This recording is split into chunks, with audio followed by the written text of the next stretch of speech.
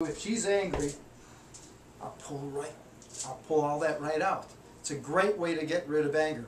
Now, when I'm working on other organs, like on the other side, stomach and spleen, I usually go in there gently, but I imagine my fingers are this long, so when I'm reaching in, I grab that and pull it out. Okay, those are some of the techniques in the hand position. Now, when I'm going to work on her head, I'm going to come up here, and I'm just going to put one hand on each side of her head, and I'm just going to feel the energy, allow her to relax. She's relaxing, and I'm just feeling the energy. So I'm moving it from my left hand to my right hand, left hand, right hand. I'm going back and forth. Now, I'm just going to gently place my hand on her shoulders, and when I do that, I'm just going to wash the whole body with like a beautiful blue light. And I'm just going to push the energy and allow the energy to flow through both all of both of her hands, outer fingers, down her body, outer toes, and just allow the energy like a beautiful cooling blue light just to flow all through the body. Now this is really important. At the end of the treatment, I like to do this. So I'm going to reach up into the heavens. I'm going to grab like a bolt of, not lightning, but a bolt of white healing light. I'm going to put it right into her forehead. I'm going to grab another one and I'm going to pull it right into her heart. And the last one right into the lower Dantian. And then seal the body. So when I'm sealing, I'm doing like figure eights around the body letting everything cool out. Let the patient relax for a little bit. Then I gently, I'm going to place my hand under her neck. And then I'm going to ask you to sit up, okay? And I'm just going to gently help her sit up like that, make sure the body's cleared. Okay, well thank you for being my model. It was great. It's Dr. Wu. Keep on practicing. It's 7 o'clock at night and everybody's just leaving the office. Before I leave the office, what I like to do is I like to clear all the junk from all the patients that I worked on all day. All day we accumulate tension, no matter if you're at work, you're at play, whatever you are, you have interaction, you get tense. You get these tensions sort of weigh on you. So by the time you're leaving, going home, you're going, oh, I'm so tired, I can't wait to go home. Turn on the television, drink a beer, and hang out. Bad idea. What you want to do is you want to take off that invisible net of tension. I don't care if you're a student, if you're a doctor, a lawyer, a merchant, whatever you're doing, you build up tensions. This exercise is a great one.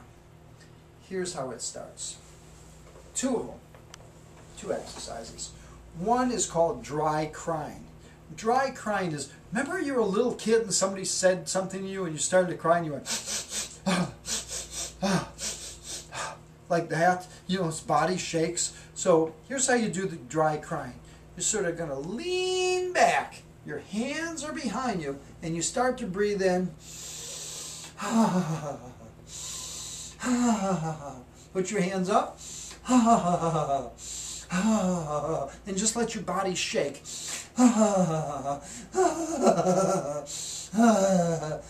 they may think you're crazy, but what you're going to do is you're going to free up all that tension. Now, there's another exercise that's great for freeing up tension. It's the one I've showed you before, but let's review it again.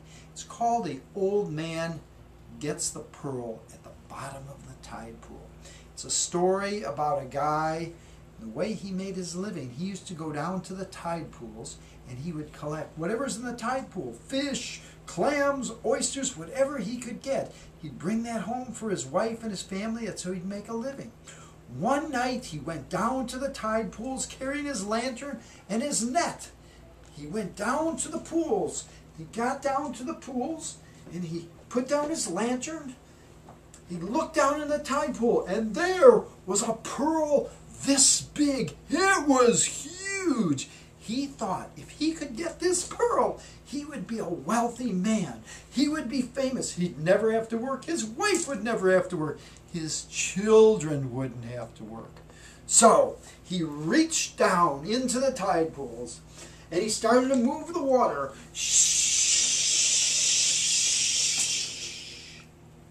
And he kept moving. But he couldn't get the pearl. He didn't understand. And he stood up and he went, when he stood up, he saw the full moon. He went, ah. And then he realized it was just the reflection of the pool. He went, oh, no money. And that's the exercise to release the lungs, the liver. Mm, the liver stores the anger. Release the heart, anxiety and the lungs, sadness and grief. If you do that exercise on a regular basis, you will clear all those organs. So again, dry crying, hands up. you might want to do this at home by yourself. They may think you're a little off, but it'll clear the whole body. And then the old man exercise. And once you clear those two, you will be in great shape. You like take off all the schmutz, you take off all the dirty energy, you take that spider web of negative energy that weighs you down, you throw that out, you're ready to have a good night. It's Dr. Wu. Keep on practicing.